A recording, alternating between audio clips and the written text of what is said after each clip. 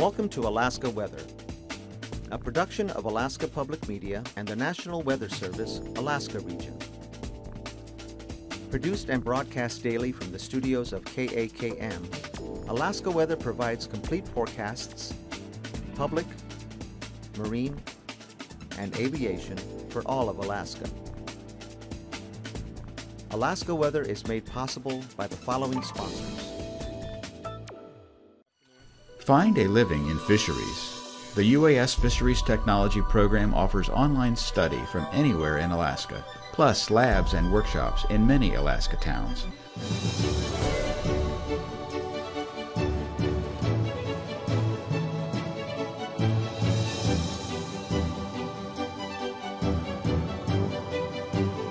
is most likely a chum. Find your living without leaving where you are. Fisheries Technology from UAS.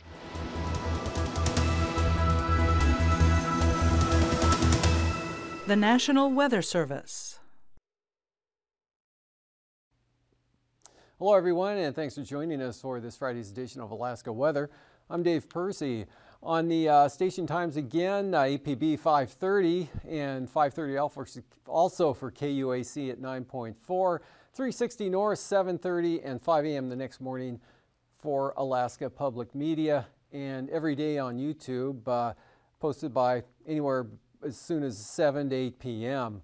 And moving on to satellite imagery today, uh, pretty good storm here rolling into the central Aleutians bringing uh, hurricane storm force winds to that uh, part of the world there. The front uh, rolling up here, approaching the Pribilof, bringing uh, windy conditions and rain into the eastern Aleutians. And then the old front here stalled out along the southwest coast, did edge its way, at least with clouds, in toward Bristol Bay and the peninsula here, back up into St. Lawrence Island. Uh, being held back due to a strong high pressure aloft here right over interior Alaska. Then we've got moisture coming uh, northward there around that ridge and then back over the top, mostly just uh, high clouds there. Uh, coming into the northeast interior. Looks like uh, down into the Tanana Valley as well, but nothing but sunshine here south of the Alaska Range, across the Copper Basin, into the uh, Gulf of Alaska, and over to the southeast coast. Uh, there is a upper trough here, basically across the panhandle with the upper ridge over the interior. So uh, impulses are actually clouds coming southward and actually uh, some moisture here backing westward and that uh, allowing a few showers to cross the border there and uh, coming to the southern southeast coast but rainfall amounts very light just a few hundredths of an inch associated with that some areas not get anything at all and then you got more clearing on up to the north and it looks like those showers will stick around tonight and then uh, maybe early tomorrow and then pull out of the area tomorrow afternoon through Sunday. Otherwise, for today, uh, high pressure here, Gulf of Alaska at the surface. Not so much over northeast interior, but another center back there over uh, just south of Banks Island with uh, lots of sunshine through this area. And again, some high stuff dropping down into the northeast interior and the scattered showers here over the southern southeast coast. And then out west, you can see a band of rain from the Alaska Peninsula here right up into St. Lawrence Island. Pretty gusty winds, 40 to 50 mile an hour wind gusts uh, this afternoon. Pribilof's ahead of that front and for the Alaska Peninsula Cold Bay right up along the southwest coast, Nunivak Island on up to uh, St. Lawrence Island. And rainfall amounts with this, uh, mostly this front here, about three quarters of an inch at King Cove, while False Pass had a little over half an inch, and Dutch Harbor had about a third of an inch. But Adak, uh, with the main low center there, they picked up three quarters of an inch of rain. Otherwise, just a few hundreds falling here along the southwest coast. Uh, and then Savoonga picked up about 16 hundredths of an inch. So really the rainfall not really all that heavy and kind of in a narrow band here, but uh, it's stalled out and falling over uh, for quite some time here over roughly the same area. And looking at the forecast for tonight, uh, that front, they kind of merge here with the one along the coast. This one catches up and basically just have one precipitation field now from the Alaska Peninsula, still back up to St. Lawrence Island, but edging inland here over the southwest. Look for some light rain to possibly push into the uh, Bethel area, back up toward Emmonak. and uh, those locations. And also uh, southeast flow here brought a few showers here to Kodiak Island. That's going to continue tonight and slip on up uh, into uh, northeast Bristol Bay in the southern part of the Alaska Range there. But the main precipitation will be back here to the west with uh, gale warnings out in front of the ahead of the front here but uh, lightening up now for the eastern Aleutians with uh, just some scattered showers there. Winds more westerly now, the low center pulling up into the Bering Sea, so the gradient relaxing now along the Aleutian chain, so winds coming down and a few scattered showers. No change over the interior, uh, basically cloud free except for some variable high clouds up here over the northeast and then the increase back here to the southwest. Look for some areas of low clouds and fog patchy up along the central and eastern Arctic coast. That should be good for some IFR up there tonight, but uh, mostly clear skies right down into the Gulf of Alaska and uh, maybe some clouds pushing east of the Alaska range. That's just a possibility.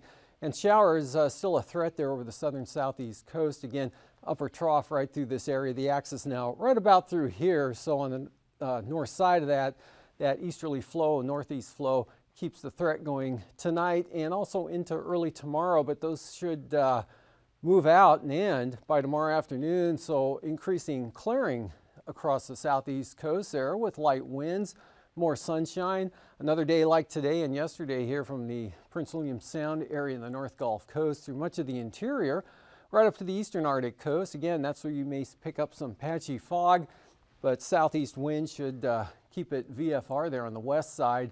And uh, now the showery acti shower activity here uh, continues around Kodiak, becomes a little more extensive and moves eastward. So some light precipitation could show up on the southern side, southern coast of the Kenai Peninsula there.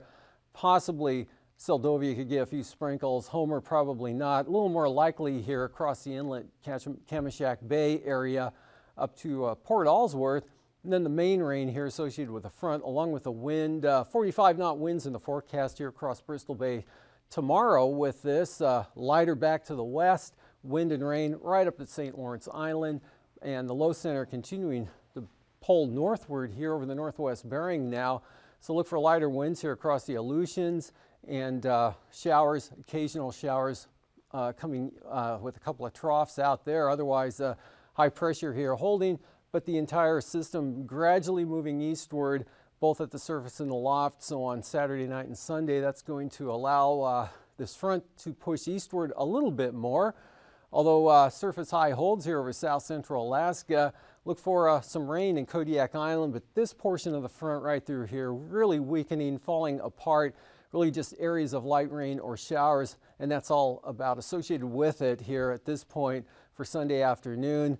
And uh, a little bit of rain for the uh, Bering Strait area, lifting north of the St. Lawrence Island area in the afternoon as that uh, low center or wave along the front tracks northwestward. So it looks like a pretty good day here across Bristol Bay with uh, mostly sunny skies, light winds, Alaska Peninsula, same forecast, eastern Aleutians, a lot less wind, probably shower free, and sunshine here, North Slope, Brooks Range, right through the central and eastern interior. Again, down to the North Gulf Coast, and should be uh, mostly sunny with no showers there for the panhandle with a 1023 millibar high center both east and west. Uh, nothing in the way of any precipitation will be coming into there at least Sunday and possibly even Monday as well. Out to the west, uh, next system here pushing into the western Aleutians with uh, possible increasing gales there. There probably will be gale force winds coming in Sunday and Sunday afternoon here with the rain spreading eastward to about Adak. Temperatures this afternoon across the panhandle, uh, mostly in the 50s, all in the 50s here it's plotted, with 57 at Sitka, 53 in Craig. State capital at 52 this afternoon, 54 Yakutat, lower to mid 50s Prince William Sound, North Gulf Coast with Seward at 54, 51 in Kenai, and upper 40s to lower 50s Northern Cook Inlet, Matanuska, Susitna Valley, Big Lake 51 this afternoon, otherwise 40s Copper River Basin, 40s Tanana Valley, 47 at Fairbanks, uh, just 30 this afternoon at Fort Yukon, and 38 at Bettles, upper 20s, lower 30s for the Brooks Range, North Slope, and the Arctic Coast. Uh, milder though here on the west side, warming into the mid 40s along the northwest coast with uh, 47 at Deering, 45 Shishmaref, same thing at Nome, upper 40s here over the uh, Yukon Kuskokwim Delta area is actually mid 50s out that way with McGrath at 44 degrees today and uh, Sparrevohn had 49. Upper 40s for the Pribilofs, lower 50s along the coast, mid 50s Alaska Peninsula, cooler 40s out over the Aleutians. And the forecast lows for tonight, uh, teens here through the eastern interior, Copper River Basin, right up into the Brooks Range with 20s north slope in the Arctic coast, warmer out west with upper 30s to lower 40s, and right around 50 for the lows tonight for the Alaska Peninsula. Highs for tomorrow, uh, 30s to lower 40s, Copper River Basin, upper 40s for the Tanana Valley. That extends right out to the southwest coast there, mid 50s Bristol Bay and the Alaska Peninsula, mid 30s for the Arctic coast and North Slope, and right around 50, maybe in the lower 50s for the Panhandle, and about the same out over the Aleutians. Flying weather tomorrow again, uh, good VFR here, Brooks Range southward, eastward across the Panhandle. Uh, look for areas of, of, IFR possible there along mostly the central and eastern Arctic coast, but VFR here down through the Bering Strait. Then you hit the marginal stuff there for St. Lawrence Island with the IFR right on its heels, extending southeastward there along the coastline. And uh, see this area lifting north now, so that uh, puts the Aleutians into a VFR zone, which uh, Last through tomorrow and even expands northward across the Pribilofs with the IFR pulling back to the northwest. Weakening front here along the coast, so IFR restricted around St. Lawrence Island and on the south side of the Alaska Peninsula with just some marginal VFR left behind coming up toward Kodiak Island. Good VFR continues in the interior and uh, low clouds, patchy fog could keep some IFR in areas along the Arctic coast. Passes all VFR once again and uh, probably will be through the weekend. VFR Lake Clark and Merrill, uh, rainy VFR, windy same forecast, and Isabel wide open, Mentasta, Tahneta, ceilings visibility is unlimited for most of these. Chilkoot White VFR. Freezing levels again, upper high pressure over the interior. That's where the freezing levels are the highest with 8,000 feet covering much of interior Alaska. Some uh, colder air out here just west of the Pribilofs down to 2,000 feet and then that upper level trough and that northerly flow keeping 2,000 feet here right along the southeast coast. And looking at icing along that front as it pushes in, areas of light to isolated moderate rime about above about 8,000 feet here for the Alaska Peninsula, up along the southwest coast and to St. Lawrence Island. This would be the only area that any icing possibly could occur, just areas of possible there, really nothing that would be that severe and looking at the jet stream high pressure aloft holding over interior Alaska again. Trough out here centered uh, right about in this location, but a deep trough down here south of the Aleutians. And this is the one that's still keeping that shower threat in over the southeast coast, but the entire pattern shifting eastward. So again, by tomorrow afternoon, you'll be just into this northerly dry flow there over the panhandle. And that's going to allow this jet to edge its way eastward, but the whole pattern will be weakening. And then for 9,000 feet on the wind, southeasterlies 50 or 45 to 55 knots here, Alaska Peninsula, Bristol Bay tomorrow, right in across the southwest interior. 30 knots for eastern Norton Sound and diminishing winds here over the southwest Bering Sea. Again, the uh, stronger winds lifting northward with that low center and the uh, southeast coast uh, offshore flow at about 15 and uh, very light winds over the eastern interior.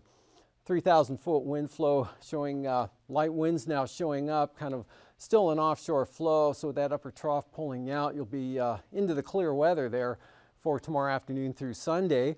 And otherwise, uh, light winds, North Gulf Coast, a little bit uh, breezier here over the central interior, 15 to 25 knots. And then a big increase as you get out toward the coastline, 45 to 50 knots, St. Lawrence Island, right down into Bristol Bay across the Aleutian Range southwest of Kodiak. Lighter winds more southwesterly out toward the uh, Fox Islands and uh, 25 to 35 knot winds from the west across the Aleutians.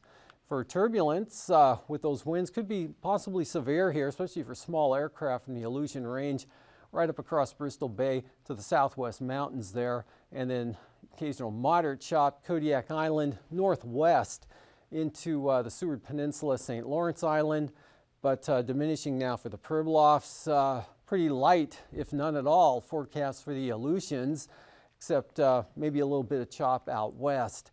And after the break of Hangar Flying, I'll return with a look at the ice edge and the marine forecasts.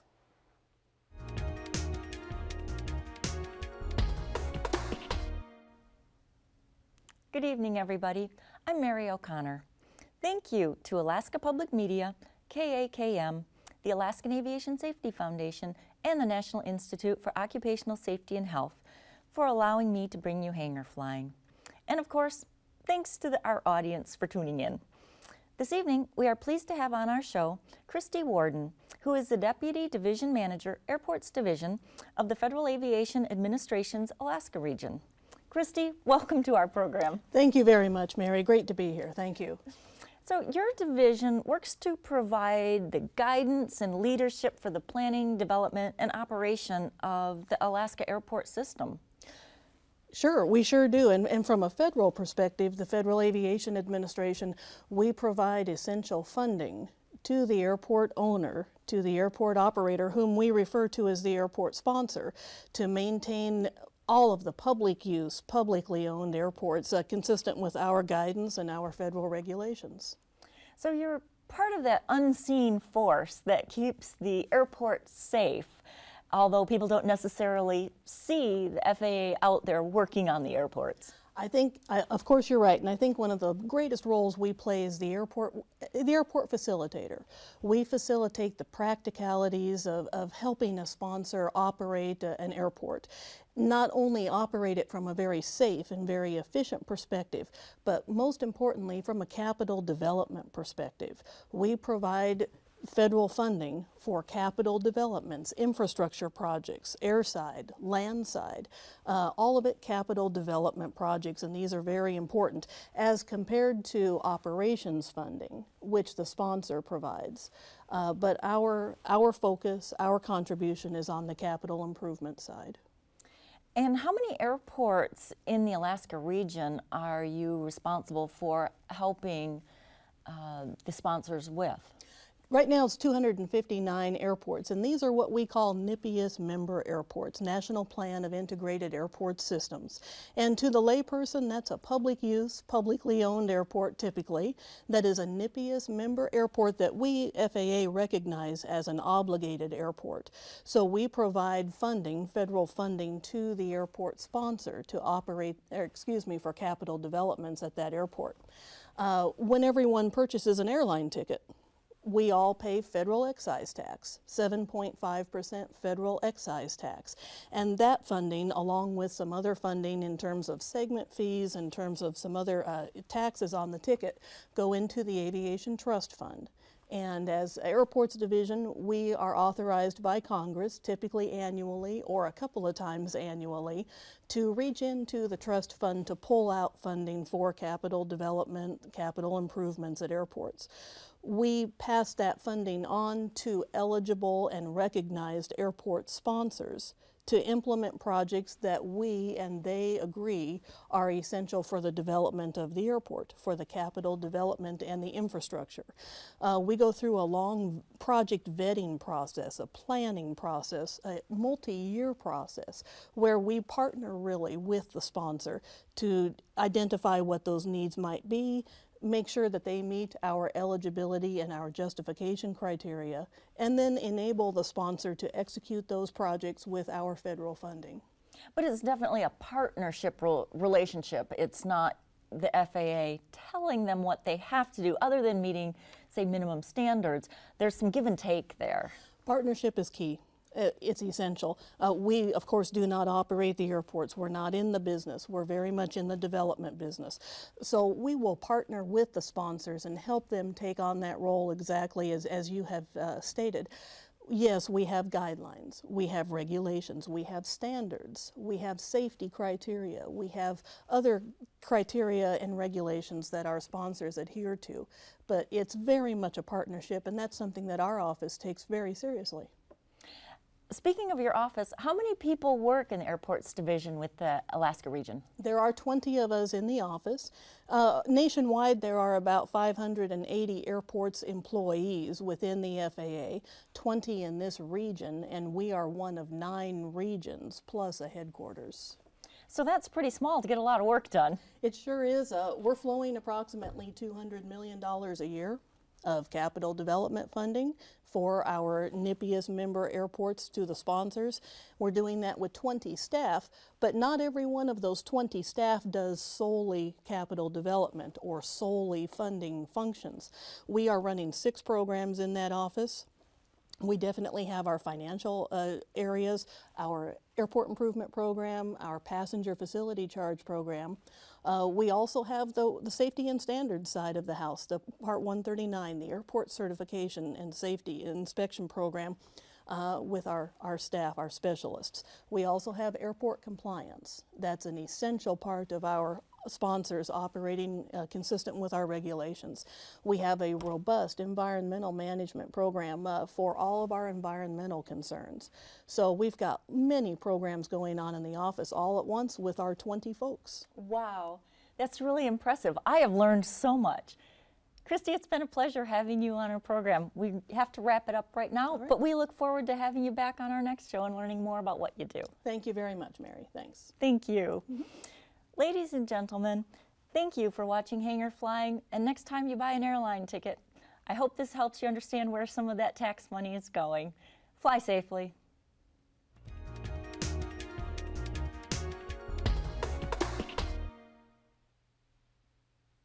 Welcome back. Sea ice analysis for uh, today, Friday. Still showing this area of uh, low concentration ice off the coast there and with the uh, easterly winds coming into the picture and picking up speed a little bit here over the weekend, expect uh, it only falls that this might drift westward again uh, throughout the weekend and in the first of next week. And that's about it as far as any changes go. For the uh, panhandle, inside waters, Lynn Canal, northern Lynn Canal down across Stephens Passage, north 20 knots, four foot seas, light winds for Clarence Strait. Out along the coast all easterly tomorrow, uh, 10 to 15 knots, so seas down to 5 to 6 feet. And then for Sunday, uh, high pressure here off the coast, uh, more northerly winds just about everywhere. On the light side, 10 to 15 here over the inside waters, seas 2 to 3 feet there. And northerly for most of the coast here at 10 to 15 with 4 to 6 foot seas. Up on the north there, just uh, light variable winds with 3 foot seas for Prince William Sound and the North Gulf Coast, all variable at 10 knots in the forecast for the first day of the weekend. Three foot seas out here along the North Gulf Coast and light variable winds north of the Forelands here for Cook Inlet, uh, east 15, and then small craft advisories, Kamishak Bay through Shelikof Strait, southeast 30 there for the east side of Kodiak Island. And that holds uh, through Sunday as well, those 14 foot seas. And east 25 for the Barren Islands, small craft advisories, east winds 30 knots for Kamishak Bay.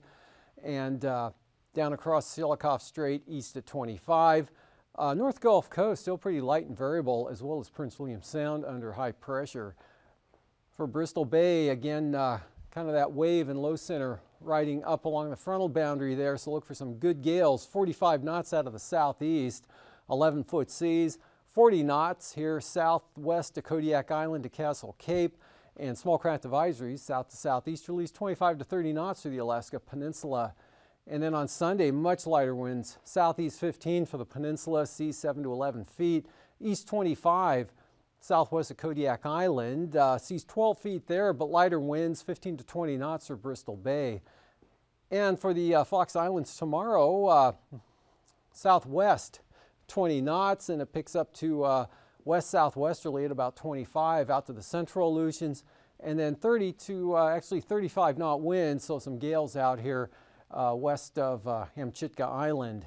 And then for Sunday, those swing around to the southeast and actually pick up here 35 to 40 knot winds across the western Aleutians, south 25 to 30 for the central Aleutian areas, and then for uh, the eastern side, we've got southwest 10 to 20 knots with uh, 9 to 13 foot seas.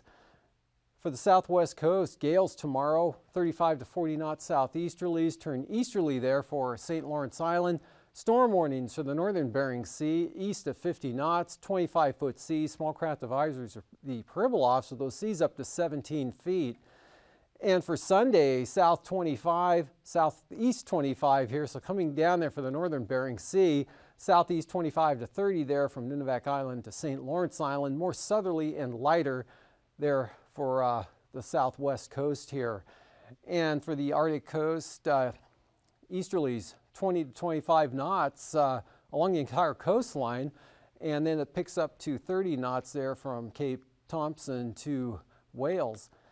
And then on Sunday, uh, 25 to 30 knot winds continue here from the east-southeast from Wales to Cape Beaufort. Then it's due easterly at 25, 6 to 8 foot seas for the remainder of the coast. And looking at tonight's weather again, uh, no change over the interior. Uh, again, some lingering clouds up through the northeast there, but no precipitation. Patchy fog, low clouds. That'll make for some IFR in areas along the central and eastern Arctic coast. And showers continue to be a threat here with an upper trough over the southern southeast coast. Light showers, nothing really heavy at all. And then uh, front edging its way eastward here, increasing the wind or keeping it windy with rain along the southwest coast of the Alaska Peninsula up to St. Lawrence Island and the low center lifting northward, so conditions improving across the Aleutians. And that pattern continues through tomorrow as well. This front kind of stuck out here into the west due to the high pressure holding over the interior. A few showers around Kodiak Island, sunshine, much of interior Alaska, down into the panhandle. Again, these showers should be over tomorrow afternoon, which will lead to a sunny day there on Sunday with light winds, high pressure dominating the area as well as most of interior Alaska. However, this weakening front edges its way into the southwest here with just some areas of light rain or scattered showers. A little more continuous for Kodiak and then also back up here across uh, St. Lawrence Island, lifting into the western Seward Peninsula with a breezier condition. Well, have a great weekend and we'll see you again tomorrow.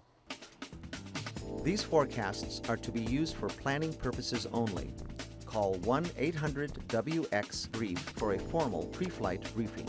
Always file a flight plan before you go flying. The U.S. Coast Guard Auxiliary urges you to leave a float plan with a friend or the harbor master before you go boating. Alaska Weather is made possible by the following sponsors.